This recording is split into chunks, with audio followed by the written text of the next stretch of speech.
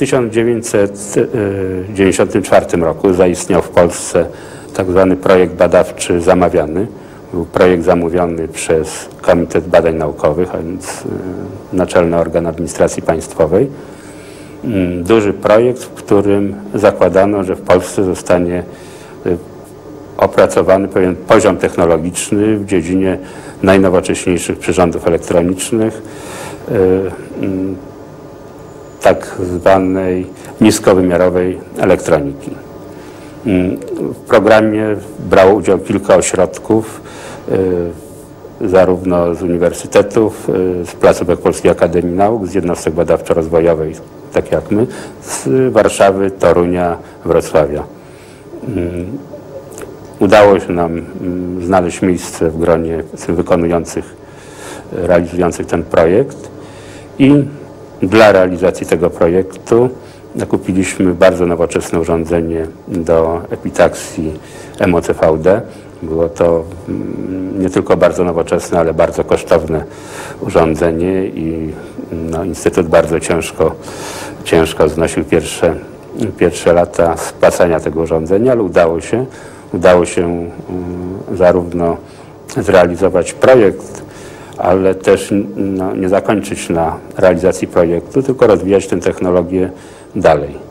I w tej chwili, mm, w tej chwili dysponujemy już dwoma urządzeniami do epitaksji, ym, bo w roku 2000 do tego kierunku badań dołączył y, program, tak zwany program wieloletni niebieskiej optoelektroniki.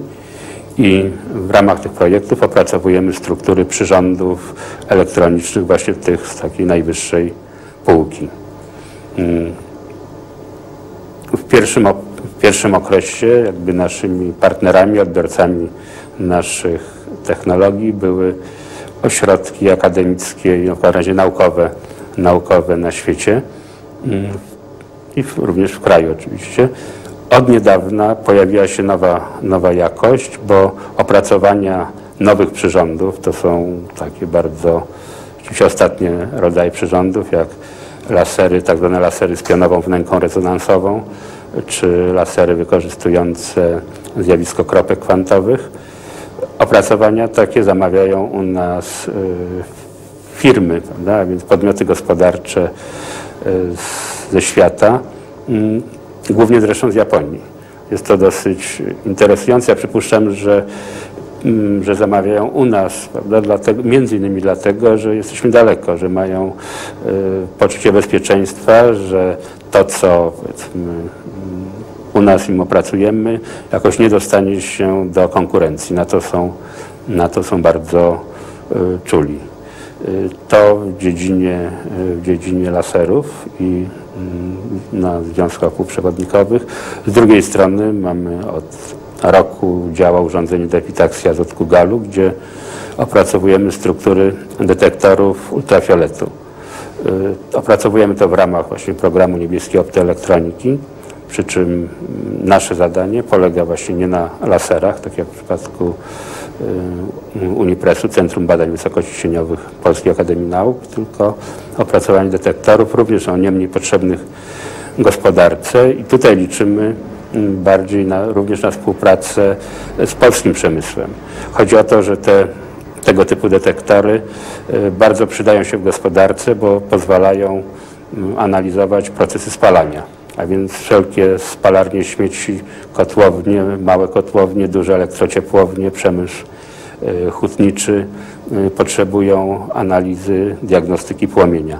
Właśnie takie detektory mogą być do tego zastosowane. A pomysł jest taki, że nasz detektorek, a więc y, maleńki guziczek, może stanowić y, serce dużego, skomplikowanego przyrządu z jakąś tam mechaniką, optyką, elektroniką, komputerem, który te dane, które wychwytuje detektor, może przetworzyć na informacje użyteczne dla człowieka. Także może to być, y, może to być taki obszar współpracy z przemysłem krajowym. Jesteśmy w laboratorium epitaksji związków półprzewodnikowych. Związki półprze, półprzewodnikowe, dla, w odróżnieniu od krzemu, do którego jesteśmy tak wszyscy przyzwyczajeni, e, stanowią o rozwoju nowoczesnej elektroniki. tej elektroniki, która ma za zadanie usprawniać zastosowanie i pracę telefonów komórkowych, naszego internetu, różnych urządzeń sygnalizujących. Wszyscy używamy często tych takich wskaźników laserowych w kolorze czerwonym i tak dalej, i tak dalej. Za tym właśnie kryje się technologia związków półprzewodnikowych, takich jak fosforek indu i materiały pochodne. Materiały pochodne to znaczy związki wieloskładnikowe na bazie fosforku indu, a więc jeśli dodamy do indu pozostałe pierwiastki grupy trzeciej jak gal, aluminium, a do fosforu dodamy jeszcze arsen, może nawet powstać związek pięcioskładnikowy, który też ma zastosowanie w technologii elektronowej. To, czym my się tu zajmujemy, to epitaksja, czyli nakładanie cienkich warstw monokrystalicznych związków półprzewodnikowych na płytkach podłożowych, również monokrystalicznych, wcześniej przygotowanych, wyhodowanych w Wydziale Monokrystalizacji. Jak już wiemy, te płytki powstają poprzez rozcięcie dużego monokryształu na takie plasterki o grubości około 300-350 mikronów. Następnie po wypolerowaniu, oczyszczeniu, przygotowaniu pod wymagania epitaksji, my te płytki stosujemy jako podłoże, jako wzór krystalograficzny dla właściwej warstwy epitaksjalnej. Tak naprawdę to podłoże nie jest nam do niczego potrzebne. Gdyby ta warstwa epitaksjalna mogła samoistnie istnieć, e, mogła być wyhodowana, to można byłoby się bez tego obejść. No, niemniej e, wzrastający monokryształ potrzebuje wzoru krystalograficznego i nośnika mechanicznego. I tym jest właśnie ta płytka podłożowa. Ponieważ warstwy epitaksjalne są, muszą być bardzo czyste, o bardzo, bardzo precyzyjnie dobranych e, parametrach materiałowych, takich jak e, koncentracja domieszek, e, koncentracja zanieczyszczeń, jak najniższa, określony skład chemiczny, grubość itd., itd., również i te płytki podłożowe muszą być bardzo dobrze przygotowane. Dlatego też takie płytki przychodzą do nas w specjalnych opakowaniach w atmosferze argonu, w podwójnej aluminiowej torbie, w specjalnym pudełku e, z tworzywa sztucznego, które również nie, nie wchodzi w żadną reakcję z materiałem półprzewodnikowym. Taką płytkę po e, rozpakowaniu e, z takiego właśnie opakowania specjalnego wprowadzamy do specjalnej komory, która się nazywa glove box bez wyjmowania płytki z pudełka. W komorze e, jest e, atmosfera bardzo czystego argonu i tam dopiero to pudełko zostaje otwarte, czyli płytka podłożowa nie ma w ogóle kontaktu z powietrzem e, zewnętrznym. Następnie za pomocą rękawic wprowadzana jest do reaktora, zamykana szczelnie w reaktorze i wtedy zaczyna się procedura całego procesu epitaksji. Normalnie dla potrzeb technologii e, nie otwieramy tej e, torebki. W tej chwili jest to tylko dla celów demonstracyjnych. Otwieram reaktor. Wysuwam grzejnik grafitowy, na którym umieszczę płytkę.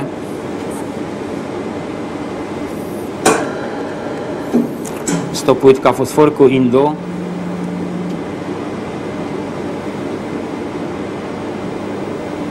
Która wcześniej nie miała styczności z powietrzem i w tej chwili również nie ma. Płytka jest dwucalowa. Dokładnie do niej dopasowany jest nagrzewnik grafitowy. Po załadowaniu wsuwamy płytkę do reaktora.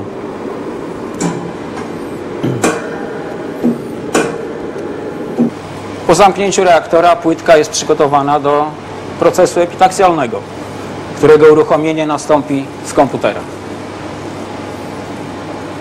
Po załadowaniu płytki do reaktora następuje całokształt procesów związanych z wyhodowaniem tej cienkiej warstwy półprzewodnika, czy związków półprzewodnikowych, a właściwie całej heterostruktury, czyli wielu warstw, jakie osadzamy w trakcie jednego procesu.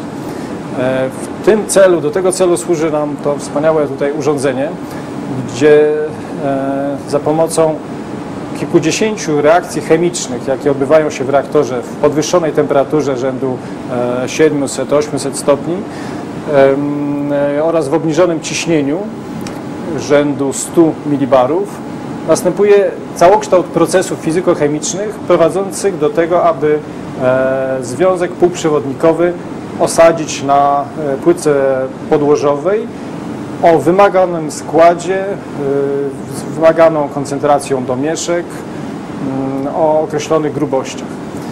E, Istotą całego tutaj tego procesu jest to, aby niezwykle precyzyjnie zachować, dobrać te składy chemiczne, jak również grubości warstw.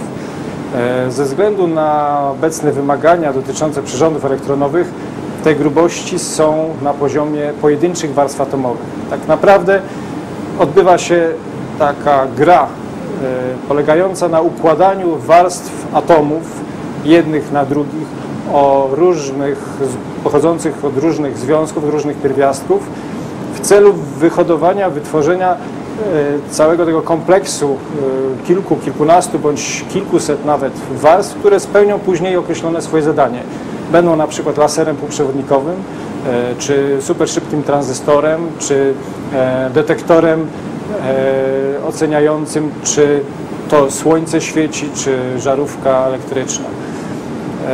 Te wszystkie procesy wykorzystują zjawiska głównie chemiczne, częściowo fizyczne i do tego wszystkiego potrzebna jest no, dość bogata infrastruktura.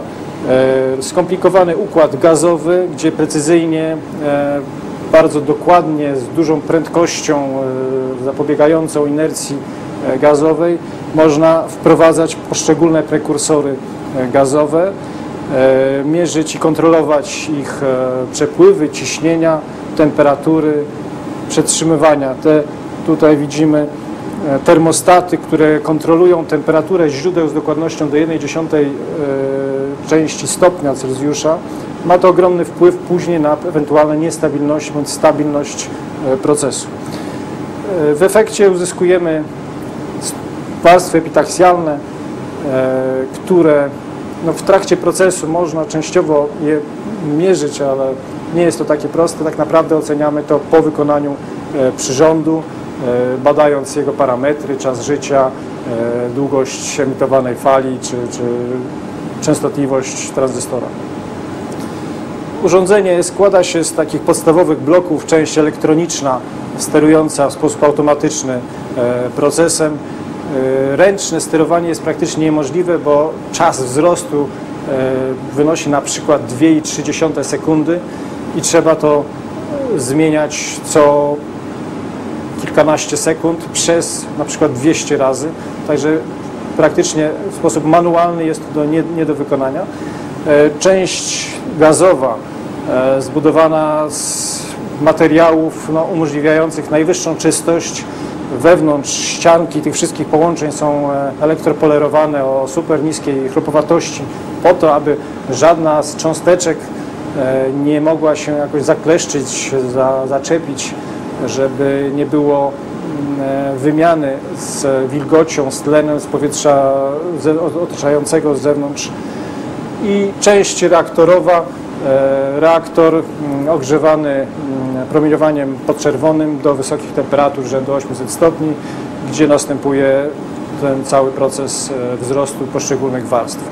To wszystko, tak jak powiedziałem, w obniżonym ciśnieniu, to umożliwia uzyskanie niezwykle e, wysokich parametrów dotyczących jednorodności, powtarzalności, e, szybkość przepływu gazu nad e, płytką podłożową jest ogromna, to są e, dziesiątki metrów na sekundę, czyli bardzo szybko. To też umożliwia e, wzrost i przerwanie wzrostu praktycznie natychmiast.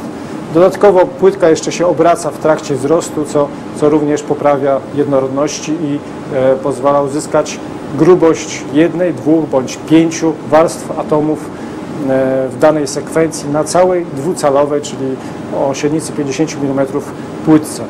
To z kolei rzutuje na wydajność e, stopień ten uzysku, kiedy z takiej jednej płytki następnie e, należy wykonać na przykład 10 tysięcy struktur lasera półprzewodnikowego bądź diody superwydajnej em, e, w kolorze